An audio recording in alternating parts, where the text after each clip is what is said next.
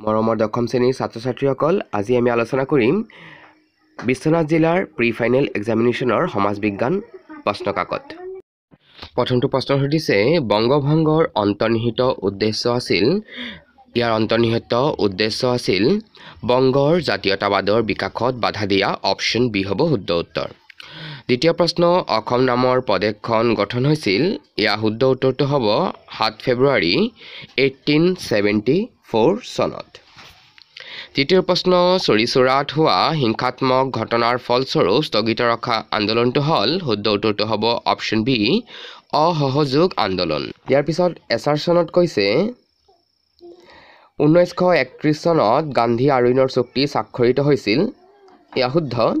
আৰু ইয়াৰ ৰিজনটো দিছে এই চুক্তিৰ ফলত ভাৰত ত্যাগ আন্দোলন আৰম্ভ হৈছিল এয়া কিন্তু অশুদ্ধ। তো আমাৰ শুদ্ধ উত্তৰটো হ'ব অপশ্যন চি পৰৱৰ্তী প্ৰশ্ন ভাৰতৰ স্বাধীনতাৰ সময়ত ব্ৰিটিছৰ প্ৰধানমন্ত্ৰী আছিল শুদ্ধ উত্তৰটো হ'ব অপশ্যন ডি ক্লিমেণ্ট এটলি। ডাক প্ৰথা অসমত নিষিদ্ধ কৰা হৈছিল ইয়াৰ শুদ্ধ উত্তৰটো হ'ব option B eighteen forty three চনত। পথৰুঘাটৰ কৃষক বিদ্ৰোহৰ সময়ত জিলাধিপতি আছিল ইয়াৰ শুদ্ধ উত্তৰটো হ'ব option D J D Anderson. ইয়াৰ পিছত কৈছে তলৰ অংশ দুটা মিলাই শুদ্ধ বিকল্পটো বাছি উলিওৱা। তো চিপাহী বিদ্ৰোহৰ শুদ্ধ উত্তৰটো হ'ব অপশ্যন চি মণিৰাম দেৱান। ফুলগুৰিত ধাৱাৰ লগত মিলিব আফু খেতি। জয়ন্তীয়া বিদ্ৰোহ হ'ব উকিয়াং নবা আৰু মণিপুৰৰ বিদ্ৰোহ হ'ব টিকেন্দ্ৰজিৎ। তো আমাৰ শুদ্ধ উত্তৰটো হ'ব চি ডি এ আৰু বি। তো চি ডি এ আৰু বি থকা অপশ্যন হৈছে অপশ্যন চি। পৰৱৰ্তী প্ৰশ্ন মণিৰাম দেৱানৰ লগত কাক ফাঁচি দিয়া হৈছিল? ইয়াৰ শুদ্ধ উত্তৰটো হ'ব option B Piyali Barua. Next প্ৰশ্ন কৈছে অসমীয়া ভাষা উন্নতি সাধনী সভাই প্ৰকাশ কৰা আলোচনীখন হৈছে এয়া হ'ব অপশ্যন চি জোনাকী। ইয়াৰ পিছত আৰু এটা উক্তি দিছে যে ওঠৰ শতিকাৰ শেষৰ ফালে তেজপুৰ আৰু নলবাৰীত ৰায়ত সভাৰ জন্ম হৈছিল। এয়া কিন্তু ভুল কাৰণ তেজপুৰ আৰু নলবাৰী নাছিল এয়া আছিল নগাঁও। দ্বিতীয় কাৰণটো দিছে ৰায়ত সভাই অসমত ব্ৰিটিছ চৰকাৰৰ দ্বাৰা প্ৰৱৰ্তিত ভূমি ৰাজহ নীতিৰ বিৰোধিতা কৰিছিল এয়া শুদ্ধ তো এ অশুদ্ধ কিন্তু আৰ শুদ্ধ। তো শুদ্ধ উত্তৰটো হ'ব অপশ্যন এ। পৰৱৰ্তী প্ৰশ্ন সুধিছে গুৱাহাটী চিকিৎসা মহাবিদ্যালয় স্থাপন হৈছিল এয়া হ'ব বিছ ছেপ্টেম্বৰ ঊনৈছশ ষাঠি। Option B. তলৰ কোনবিধ ভাৰতীয় ধ্ৰুপদী নৃত্য অন্ধ্ৰপ্ৰদেশৰ তো অন্ধ্ৰপ্ৰদেশৰ ধ্ৰুপদী নৃত্য হৈছে কুচিপুড়ি।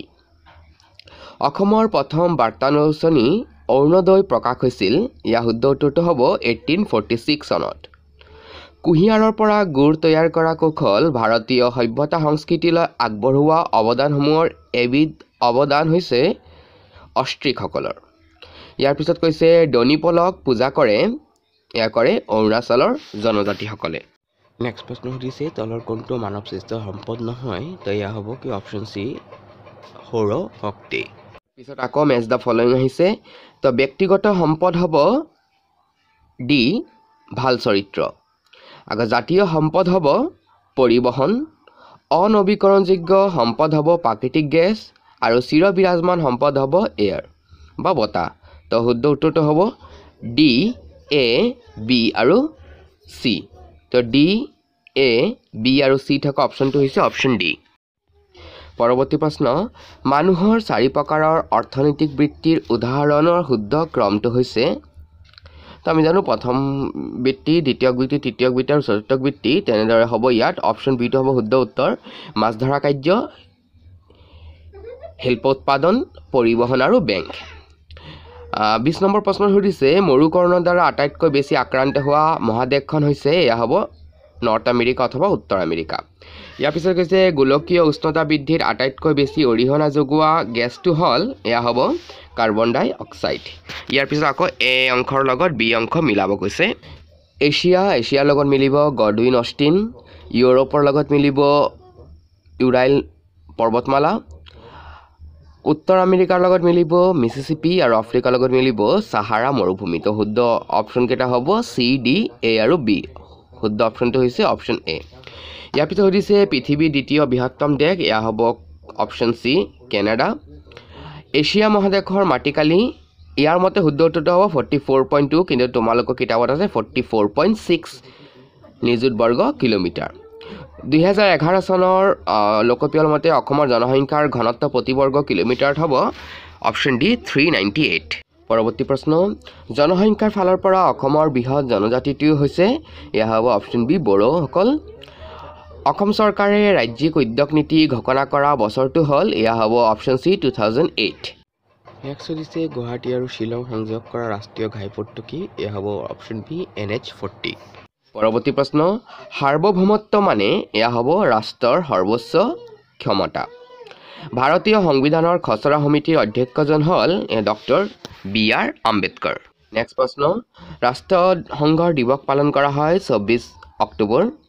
দক্ষিণ এছিয়া আঞ্চলিক সহযোগিতা সংস্থাৰ মুখ্য কাৰ্যালয় যাক চৰ্টফৰ্মক চাক বুলিও কয় ইয়াৰ মুখ্য কাৰ্যালয় হৈছে কাঠমাণ্ডুত।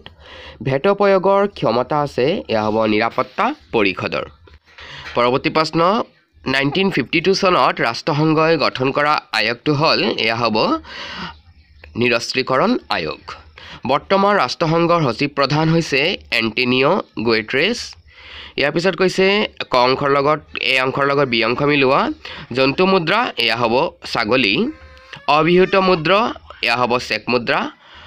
প্ৰতীক মুদ্ৰা এয়া হ'ব এশ টকাৰ নোট আৰু সামগ্ৰী মুদ্ৰা এয়া হ'ব কি? চাউল। তো শুদ্ধ অপশ্যনটো হ'ব আমাৰ option one D C B A. ভাৰতবৰ্ষৰ কেন্দ্ৰীয় বেংকটো হ'ল এয়া হ'ব ৰিজাৰ্ভ বেংক অফ ইণ্ডিয়া। তলত উল্লেখ কৰাবোৰৰ কোনটো কৃষি উন্নয়ন বেংক এয়া হ'ব কি? নাবাৰ্ড। মুদ্ৰাৰ মবিকাশৰ তৃতীয় স্তৰটো আছিল এয়া হ'ব অমুদ্ৰিত ধাতুমান। গুৱাহাটী বেংক স্থাপন কৰা হৈছিল। ইয়াতে মন কৰা যি নাম্বাৰিং আছে ইয়াৰ কিন্তু ৰোমান সংখ্যাত তেনেকৈ লিখিব নাপায় ইয়াত ফৰ্টি হ'ব লাগিছিল কিন্তু ইয়াত ভুলকৈ লিখিছে। তো গুৱাহাটী বেংক স্থাপন হৈছিল এয়া হ'ব নাইনটিন টুৱেণ্টি ছিক্স চনত। পৰৱৰ্তী প্ৰশ্ন সুধিছে তলৰ কোনটো মানৱ উন্নয়নৰ সূচক নহয় এয়া হ'ব কি? জনমৰি আই। প্ৰথম পঞ্চবাৰ্ষিক পৰিকল্পনাৰ সময়ছোৱা হ'ল এয়া হ'ব first April nineteen fifty one to thirty first March nineteen fifty six উদাৰীকৰণ আৰু ব্যক্তিগতকৰণৰ পৰিণতি হ'ল এয়া হ'ব কি? বিশ্বায়ন। নীতি আয়োগৰ অধ্যক্ষজন হৈছে ভাৰতৰ প্ৰধানমন্ত্ৰী। ভাৰত চৰকাৰে দেশৰ অৰ্থনৈতিক সংস্কাৰ নীতি গ্ৰহণ কৰে এয়া হ'ব নাইনটিন নাইণ্টি ওৱান চনত। ইয়াৰ পিছত দীঘলীয়া প্ৰশ্নৰ উত্তৰসমূহ লিখিবলৈ দিছিল।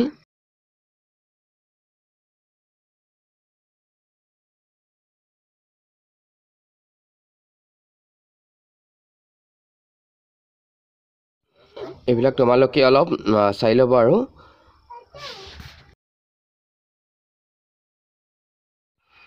তেন্তে ছাত্ৰ ছাত্ৰীসকল আজিৰ ভিডিঅ' ইমানতে অন্ত পৰিল। কমেণ্টৰ মাধ্যমত ভিডিঅ'টো কেনে পাইছা জনাবলৈ নাপাহৰিবা।